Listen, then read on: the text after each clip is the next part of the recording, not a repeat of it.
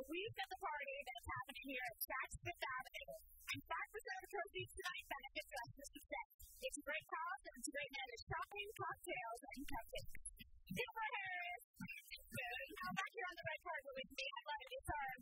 I get stage and go carpet. You know, yeah, we're here to It's all that. That's what I know. I rolled right in with the leggings and the boots. I love it. I love it. The cross below 75 in LA. I'm like, oh, you know. Tech and dress for stuff. What brought you out here? Oh my gosh, girls in tech and fashion and hanging out with you. Like the combination is stellar. It's so much fun, isn't it? And what are you looking forward to most this evening?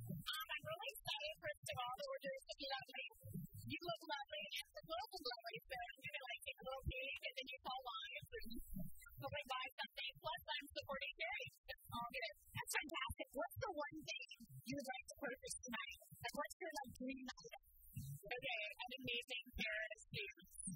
You know, we can get away with colored shoes now. Have you seen this? Like mauve and purples and stuff. So I think I might, I might do that. I want you to know we are three for three on shoes. Are we? Yes, everyone wants shoes. Oh my god, I guess I'm following the trend. No, it's because we love shoes. They're works of art, they're collector's items. They are. You know they are. They're more artistic than just regular normal clothes. And you can never ask too many. This is very true. We'll go see how together